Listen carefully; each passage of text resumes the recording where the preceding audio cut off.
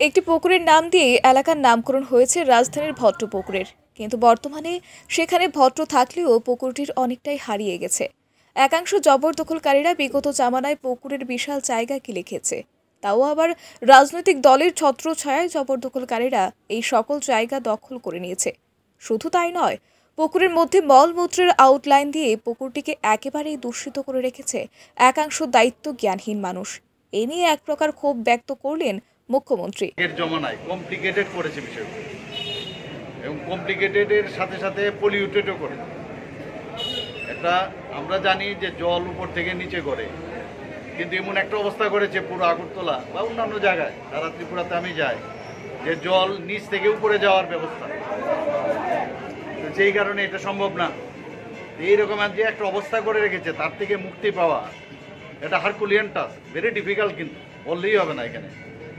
এখানে যা দেখলাম, তারপরে কারোর জায়গা দখল করার একটা প্রবৃত্তি রাজনীতির ছত্রছায়া থেকে মাসুল পাওয়ারের মাধ্যমে রাজনীতি করলেই কোথাও জায়গা দখল করা, কারোর সাথে উচ্ছেদ করে, কাউকে উচ্ছেদ করে সেই জায়গা দখল করা, এগুলো আমাদের এইসব ইতিহাসে সব আসে, বেরিয়ে আসে। একদিনে তো সব সমস্যার সমাধান হবে না। এক্ষণে তাৎক্ষণিক যে সমস্যা যে একটাই মাত্র পুকুর, সেটা হচ্ছে পত্র পুকুর নাম কিন্তু পুকুর নেই।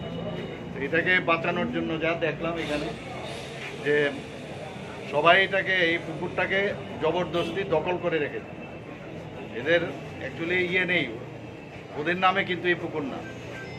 কিন্তু যা শুনলাম, অনেকে বলছে যে আমরা, আমাদের কোনো এই পুকুর যদি এটাকে প্রপারলি ডিজাইন করে এবং মলমূত্র যেভাবে পুকুরে পড়ে এটা তো একটা সাংঘাতিক বিষয়। এটা তো হয় না তো এরকম। আমি এক্ষুনি আলাপ করলাম কমিশনার সাথে। উনি বললেন যে এগুলো বন্ধ করতে হবে, কারণ ডিম সাগরেও এই অবস্থাটা ছিল।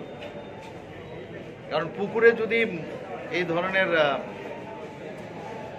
ইয়েতে পড়ে বজ্র পদার্থ যদি পড়ে, তাহলে কীরকম ঘটনা এটা? তো এইটা অনেক দিন ধরে সজলবাবু বলছিলেন এখানে আসার জন্য। তো এমনিতে শুন আর দেখা কিন্তু অনেক সময় আসার পরে কিন্তু অনেক কিছু পরিষ্কার আমি আপনাদের কথা শুনলাম, আর আপনাদের চেহারার দিকে তাকিয়েছিলাম। তাকিয়েছিলাম কারণ আপনারা অনেক কিছু এক্সপেক্ট করে। আপনাদের সমর্থনেই কিন্তু আমরা আজকের মসনদে বসা। কিন্তু মসনদে বসলেও চেহারার দিকে তাকালে অনেক আশা নিয়ে মানুষ তাকিয়ে থাকে যে আমাদের কিছু যদি সমস্যার সমাধান আজকে প্রধানমন্ত্রী নরেন্দ্র মোদীজির দিকে আমরা সবাই তাকিয়ে থাকি। যে হয়তোবা উনি কিছু একটা করবেন আমাদের জন্য। করছেন কন্টিনিউয়াস করছেন। আমাদের সীমিত যে ক্ষমতা, তার মধ্যেও আমরা চেষ্টা করছি যে মানুষের যেসব দুঃখ, এগুলো যাতে লাঘব করা যায় স্বচ্ছন্দের সাথে যাতে বসবাস করতে পারে। এখানে এত বড় বিল্ডিং, ভট্টপুকুরে মানে যখন আমি আসা তো হয়নি, আগে ছিলাম, আগে আসতাম, আর আজকের তারিখে মানে রাত দিন সমস্যা। আমার বাড়িটা ঠিক থাকলে তবেই চলবে এই ধরনের যে একটা মানসিকতা।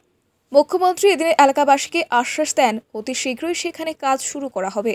এলাকাবাসীর সহযোগিতা চেয়েছেন তিনি। পাশাপাশি এও বলেন এখানে বুলডোজার চালিয়ে কাজ করা সম্ভব নয়। যদি কেউ অন্যায় করার চেষ্টা করে তবে প্রয়োজনে বুলডোজার চালানো হবে। কথা দিচ্ছি যতটুকু পারা যায় আইন মেনে যা করা যায় আমরা করব। আর বাকিটা তো করব সবার সহযোগিতা দরকার। আর আগাম, নতুন বর্ষ আসছে ইংরেজির আগাম শুভেচ্ছা রইল। এক তারিখ নিশ্চয়ই আপনারা আনন্দে মাতবেন।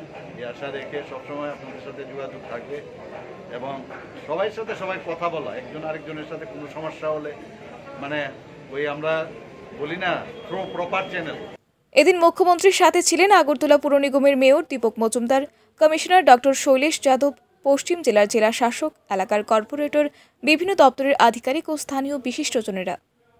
ফিয়ার রিপোর্ট আর ই নিউজ।